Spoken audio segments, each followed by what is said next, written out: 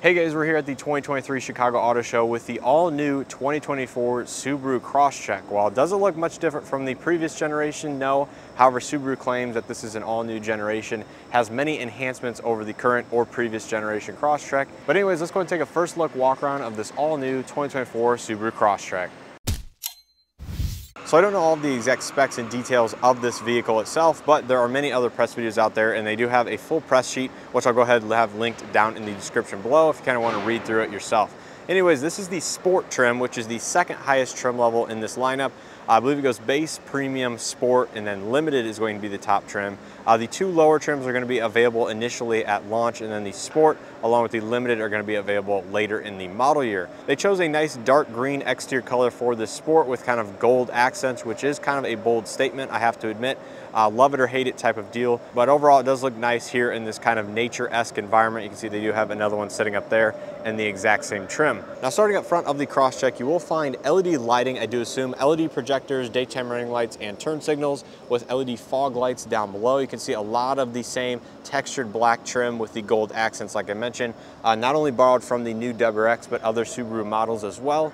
You have a nice metallic grille with gloss black boomerang that kind of connects the two headlights with the Subaru logo in the center. Coming to the side, you can see once again more WRX influence, in my opinion, along with the wheel arch flares and kind of the gold accents along the bottom. You can see they do have the cutouts along the backside to allow airflow from the wheel well area. These are nice kind of gunmetal gray metallic wheels. They're going to be 18 inch in size, 225, 55, 18 inch Falken um, all season tires, so a nice decent all season. The textured plastic definitely gives it a nice unique effect. It's more angular than that of some of the other models in the past. And there is a nice sport badge to signify the trim level on the driver's side and a passenger side door as well. I like the black metallic mirrors with the LED turn signal integration, heated, and do have blind spot detection, of course. Proximity entry on both front door handles. And take a look from the side here, it definitely has a nice rugged, uh, kind of athletic off-road stance with the cross rails up top. And of course, this is going to sit up a little bit higher than that of your traditional kind of compact hatchback or sedan.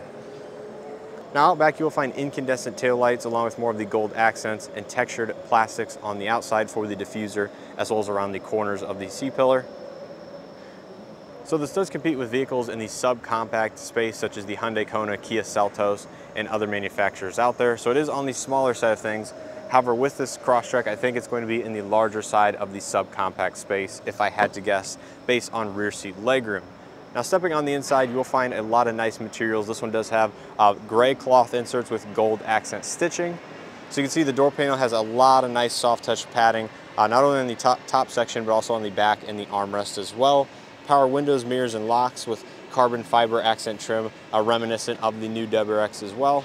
Bottle storage, power driver seat with two-way power lumbar, and I really do like the gold accent cloth material on either side. I think that looks nice with a patterned center section. Take a look at the steering wheel, leather wrapped with the gold stitch carbon fiber trim across the dashboard. This is mainly hard touch. There is soft touch, kind of injected molded plastic up top, uh, but otherwise not too many soft touch materials across the dashboard. You do have an analog gauge cluster with a small uh, color display in the center. Looks like you do have paddle shifters on the back of the steering wheel, automatic headlights, gauge illumination down here, tilt telescopic steering column with all of your audio multimedia controls, as well as your safety sense, which is the latest Subaru version of EyeSight with this vehicle. So that is nice to see. Of course, you do have the 11.6 inch multimedia with available wireless Android Auto and wireless Apple CarPlay, dual zone automatic climate control, some hard touch buttons on either side, wireless phone charger down below with USB-A and USB-C inputs. You can see the USB-C is 3.0 amps, so that is one of the higher uh, amperage out there in terms of charging. And of course, you still have the auxiliary input, which is a dying thing in new vehicles. Gloss black around the shifter, electronic parking brake. I like how they added manual buttons for the heated seats. I think that is something that should have dedicated buttons in these vehicles instead of being reliant on the touchscreen controls. 12 volt outlet, two cup holders, storage inside. The armrest does not appear to slide, but is soft touch. Manual dimming rear view mirror, SOS, sunroof controls up top, illuminated vanity mirrors, and this is just a standard size sunroof, so on the smaller side of things, but is adequate uh, for this class of vehicle. Now take a look at the rear seat. It appears to be fairly spacious for the size of this overall footprint. So hard touch plastic, soft touch armrest, uh, power windows, and a little bit of bottle storage. Seats materials do fall through with the gold accents. I do want to step inside and kind of see how the overall headroom is. There's a look at the front dashboard. Out back, you will find USB-A and USB-C charging, which is nice. I would rather have that versus two USB-As uh, because C is definitely taking over uh, versus the older standard. You can see it is 3 amps and 2.4. Mat pocket only on the passenger side. 60-40 split folding seats with center armrests, cup holders included. They are fairly shallow, so that's a little bit of a bummer. In terms of headroom, I have about three inches or so, which is good. Plenty of legroom where the uh, driver's seat is currently set.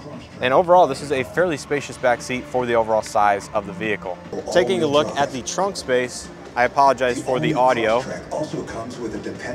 You can see behind these second row seats, there's quite a bit of room with LED lighting on the left side. More power on their adventures. Privacy cover. 182 horsepower, 2.5 liter Subaru Boxer And beneath the floor, it looks like you do have a temporary spare tire with your roadside jack equipment. Dual function X mode with hill descent control. Manual tailgate. Able to maximize traction and control in difficult conditions.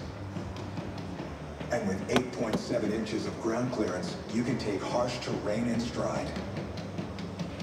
There's your manual four-way passenger With performance seat. and capability like this, the Crosstrek is a vehicle you can trust. It's why Subaru has been named the most trusted brand for eight consecutive years, according to Kelley Blue Book's KBB.com.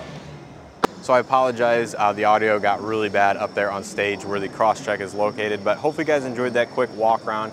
Um, I don't know all the specs, like I said, but they will be down in the link in the description if you guys want to check out and learn some more about the new Subaru Crosstrek. I know it has two engine options available, safety systems. Of course, you do have the wireless Android Auto, wireless Apple CarPlay, and does come in four different trim levels. So let me know what you think of the Crosstrek down in the comment section below. I'm definitely interested in seeing how you like that versus some of the competitors on the market. Of course, make sure to check out some of the coverage I have here at the 2023 Chicago Auto Show, including the new 2023 WRX as well.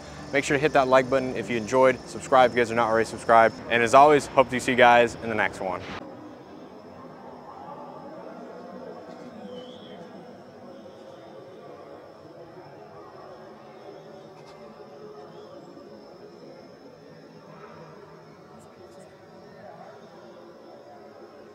Hey, they're watering them.